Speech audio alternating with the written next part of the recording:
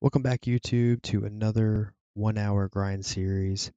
So today's topic, we're going to be looking at grinding at Bloody Monastery.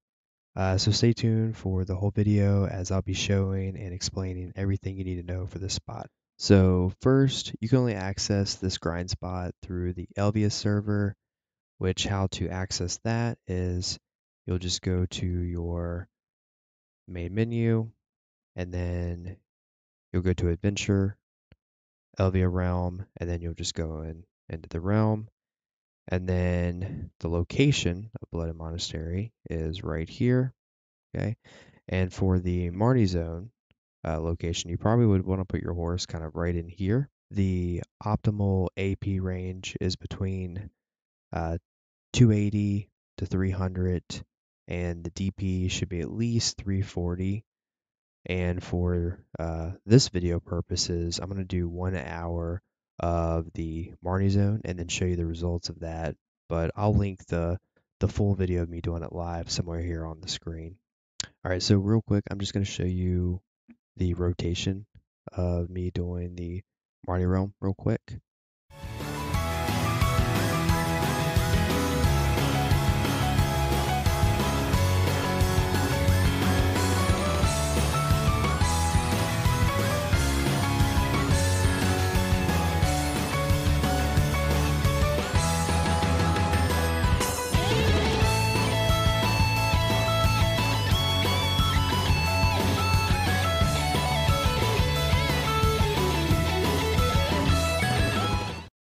I wanted to also show you the grinding rotation if you're not in the Marni realm.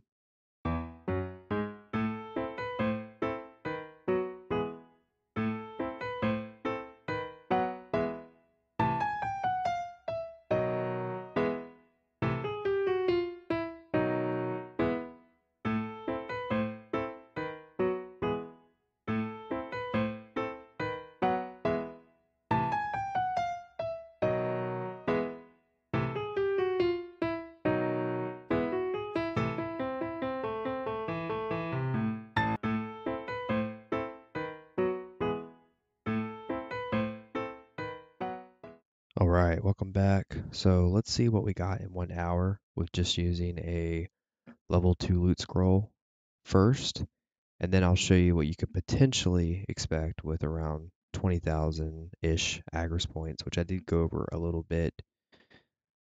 Uh, this spot is also, just like any other spot, is very class dependent. So using Striker uh, with an Awakening AP at 311 and DP at 390 some classes are going to be much better at this spot. Uh, but here I'll show you what you can expect.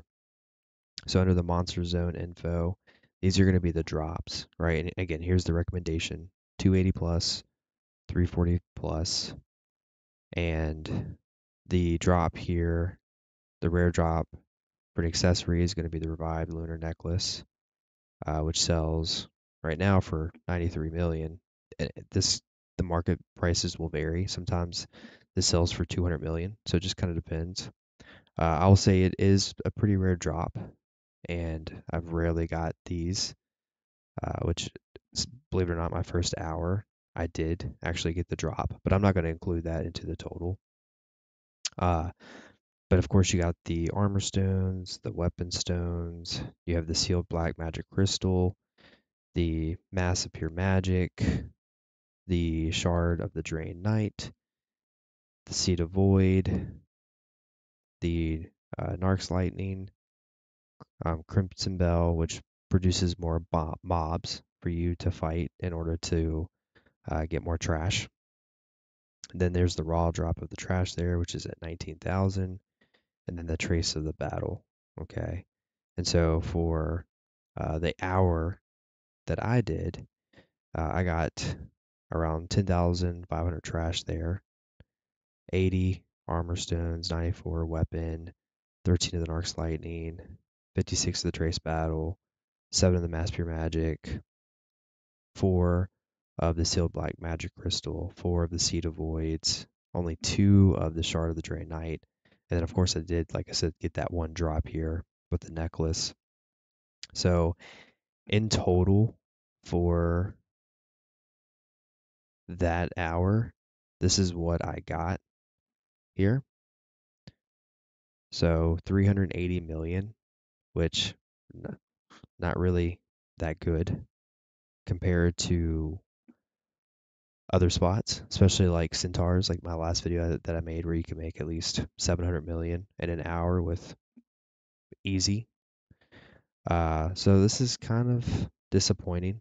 Now, the reason why you probably would be grinding here anyway is going to be the uh, shards, right? So grinding these out to get your cups, which is why I'm here right now, trying to get the uh, AP cup for my earrings here. Uh, so that's probably going to be the main reason why you're going to be grinding here. Again, is for these. But again, these numbers can can change depending on if there's a drop rate going on. Also, uh, getting the drops where you're able to kind of empower your character, right? And so that will allow you to kill the mobs faster. So depending on how lucky you are to get that, this right here will also increase.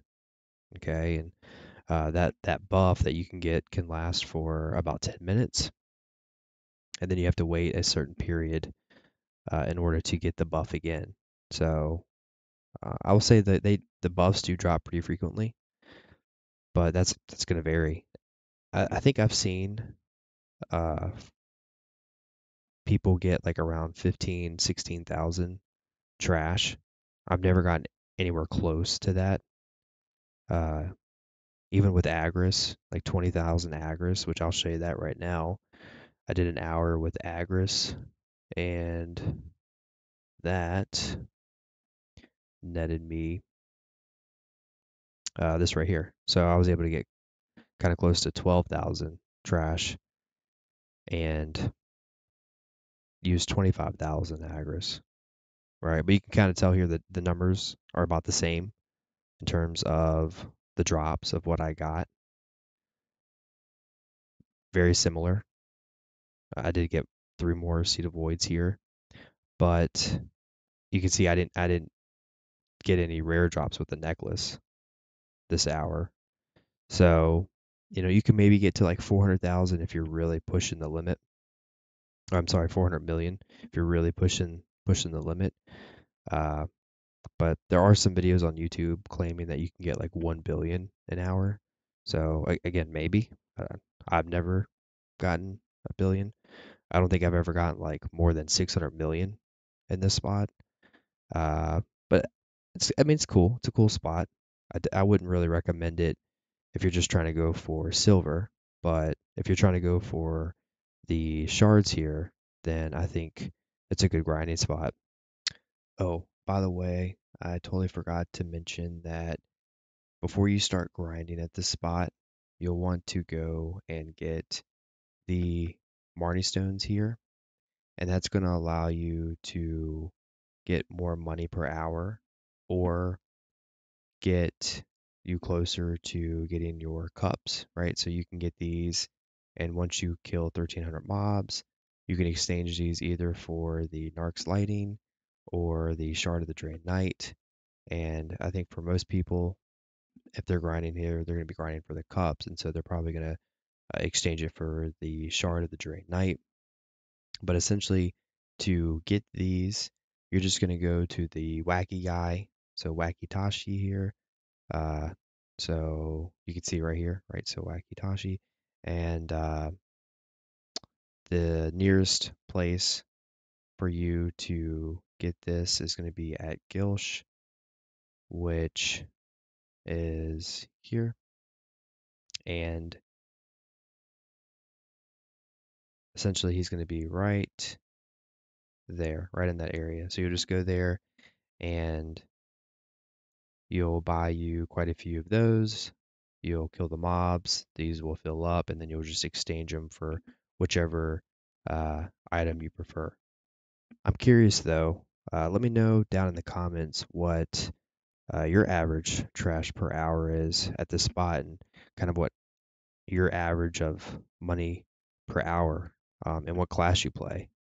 Uh, but with that being said, thanks for watching the video. And if you like the content, then please like and subscribe. And I'll see you next time.